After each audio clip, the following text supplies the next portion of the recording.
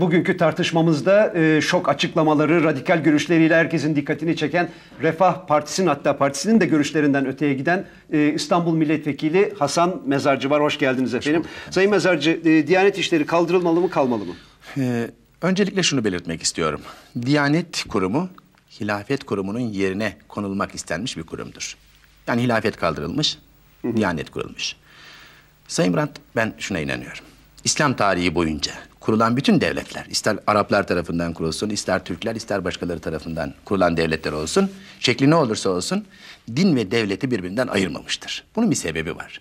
İslam dini buna müsait değil. Yani siz bir yerde diyorsunuz ki e, Türkiye'de sizin kendi görüşünüz bu e, Diyanet işleri kaldırılmalı ve e, hilafet gelmeli. Yani e, en Evet, sonunda onu- evet. Yani asırlarca denenmiş, tecrübe edilmiş, başarılı olmuş bir kurum var. Hilafet.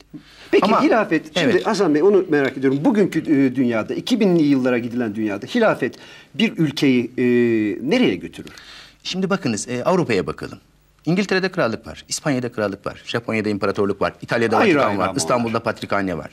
Hayır, bu tarihi ve dini kavram, ana kavram ve kurumlarını korumuşlar. Ben müsaade ederseniz hemen bir belge okuyayım. Bakınız e, Rıza Nur ne diyor? Lozan'ı imzalayan ve hilafetin kaldırılmasında, laikliğin getirilmesinde de emeği olan Doktor Rıza Nur diyor ki, hilafeti ilga etmişler. Çok müteessir oldum. Benim kanaatimce hilafet bilakis kuvvetlendirilecek, modernize edilecek bir müessese idi diyor. Yani Türkiye'de etnik problemler var, mezhebi problemler var. Türkiye bölünme parçalanma noktasında gönüllü birlikten Daha bahsediliyor. Gönüllü birliğin tarih boyunca bizdeki ana kavramı tevhiddir. Kurumu hilafettir.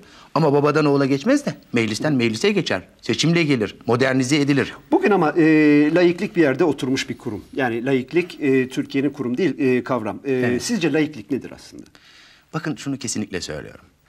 Şimdi hem layık hem Müslüman olunur mu? Bu suali sormak lazım. Ben meclisteki bir konuşmamda da buna temas ettim.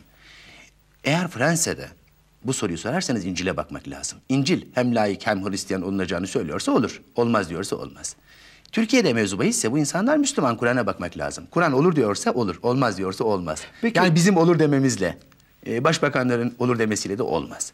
Dolayısıyla benim e, kanaatime göre, inancıma göre İslam'ın peygamberi bir kere daha vurguluyorum. Devlet başkanı olduğu için, bunu şahsında temsil ettiği için hem layık hem Müslüman olmak mümkün değil. E, sizin aslında söylediğiniz bir yerde dolaylı olarak e, diğer görüşü de doğrulamış oluyor. Yani e, Diyanet işleri kaldırıldığı takdirde e, laikliğin e, tamamen elden gideceği. Zaten sizin de istediğiniz laiklik elden gitsin ve hilafet kurulsun. Yalnız Şah'ın ben İran Şah'ının döneminde gayet iyi hatırlıyorum. Hatta benim de bulunduğum bir gazeteciler grubuna şunu söylemiş. Sizin Atatürk'ünüz her şeyi iyi yapmış olabilir.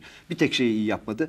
O da dini devletin kontrolünün altına aldı. Bakın ben nasıl bıraktım? İmamlar, hocalar, herkes camilerinde halk tarafından şey yapılıyor dedi. Sonuç ortada. Hümeyni o camilerden çıktı ve bugün e, İran'ı şey yaptı. İran'ın benimsediği bir şey olabilir bu. E, yönetim şekli olabilir ama e, Türkiye'nin herhalde Türkiye'nin çoğunluğunun e, şey yapacağı bir yöntem şekli değildir. Oysa siz diyorsunuz ki hilafet. Evet. Sayın Brandt, farklı şeyler kıyas edilmez. Bu bir mantık kuralıdır. İran'da bir mezhep var, Şia mezhebi. Orada imama inanmak imanın gereği. Bizde öyle değil. İmam, devlet başkanı Hazreti Ömer bile olsa ayağındaki pantolonun hesabı sorulur. Bakınız Osmanlı modeli çok uluslu, çok dinli bir coğrafyada. Denenmiş, tecrübe edilmiş, başarılı olmuş bir modeldir. İran falan olmaz. Hiçbir zaman burası İran olmaz. Tarih boyunca da olmamıştır. Bundan sonra da olmayacaktır. yani örnek de Şartları- ortada, ee, ee, şey- şartları farklı. Eğer devlet başkanı şahsında hilafeti yani dini de temsil ederse din devlet kavgası, devlet millet kavgası da önlenmiş olur. Bu farklı mozaik Tabii. gönüllü olarak birleştirilmiş olur. Diyanet kalkar.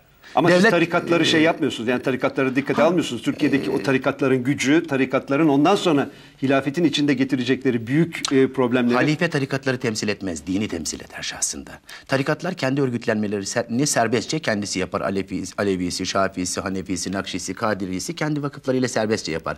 Devlet belki yardımcı bir bakanlık kurar. Mesela e, din işleri ve din ve mezhepler bakanlığı kurar. Ve bunların Organ- organizasyonuna yardımcı olur.